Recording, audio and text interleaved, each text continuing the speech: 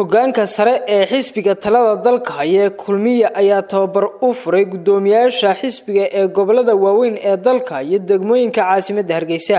Waxaana tababarkan ka furay xarunta guud ee magaalada hargeysa guddoomiyaha xisbiga kulmiye ahna wasiirka wasaaradda arrimaha gudaha somalilan mudane maxamed kaahin axmed. Waxaanuu tababarkani socon doonaa muddo saddex maalmooda waxaana lagu baran doonaa mawduucyo ay ka mid yihiin hanaanka wada shaqaynta iyo maamulka xafiiska xisbiga. Hogaaminta wanaagsan ee asxaabta siyaasadda qorshayaasha istaraatiijiyadda iyo barnaamijyada xisbiga waxaana munaasabadaasi ugu horeyn ka hadlay xogayaha guud ee xisbiga talada dalka haya ee kulmiye waxaana ka mid ah hadaladiisii. Mudanayaal iyo marwooyin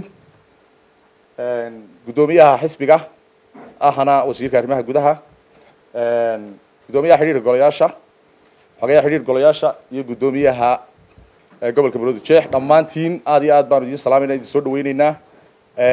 Kaliya laab ku soo dhawaada intiina gobollada ka timi iyo intiina gobolkan maroodi jeex degmooyinkiisa kala duwan ka timi haddii alla ka dhigo waa idin soo dhaweyneynaa. Iyo xubnaha kale haweenweynaha inala jooga ee ka soo qayb gala xafladda furitaankeeda.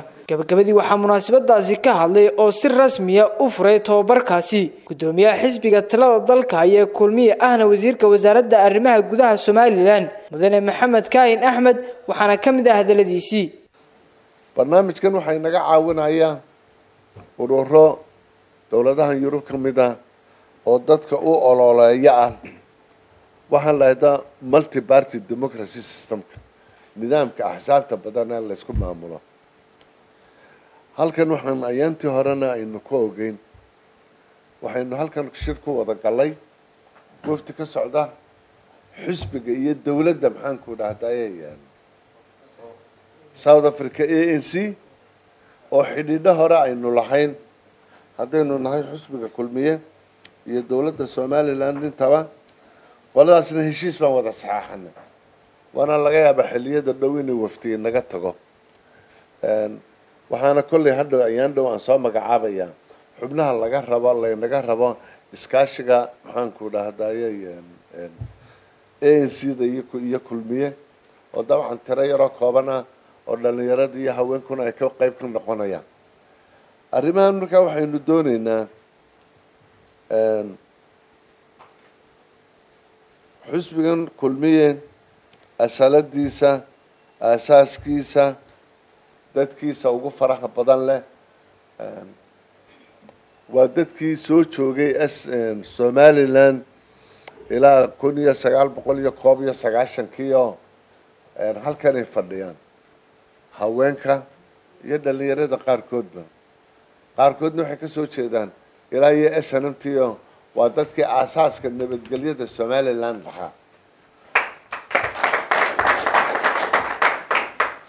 qolyaha iminka qabyaalada iyo arrimaha noocana guddiyada reeraha ku marmarsooda.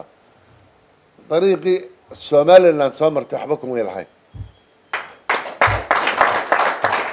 haddaad dhalinyaradiinana iminka gogol garaysaan oo social mediaha ka baadhaan in allaaliya intii oo shar ee lagu magacaabay mi qof qudha oo joogay ma jiro. Marka waxaa laga yaabaa waxay ku ciyaarayaan dhibtay soo martayba inaanay iyagu lahayn. Dhawaanna waan ka hadlaynaa arrintaa arrintan markaa waxaan dooneynaa markaa kulankan dhamaysataan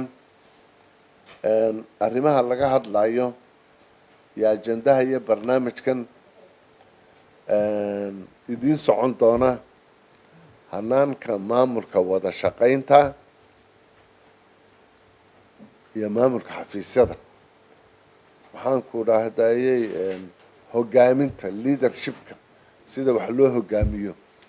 Waxaanku dhahdayey sameynta maxaanku dhahdaye qorshayaasha istaraatiijiyada hanaanka lagu maamulayo xusbiga ajendayaashiinu inahaasay ka mid noqonayaan.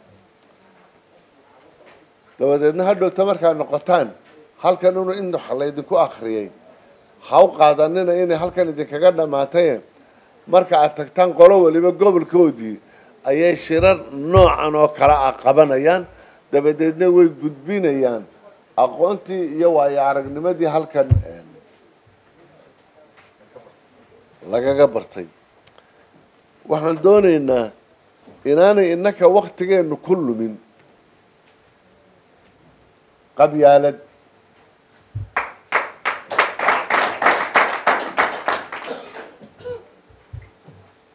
Waxaan doonaynaa inaanay innaka waktigeenna ku lumin dadka isnacaybkiisa. In dadka laysnabcaysiiyo inaanay innaka ka inaanay ka mid aanay waktigeenna ku lumin. Innaka xusbiyada iyo ururada siyaasiga ah. Dad reer somalilandna baynu nahay. Keliya waxaynu ku tartamaynaa arrimaha siyaasadda.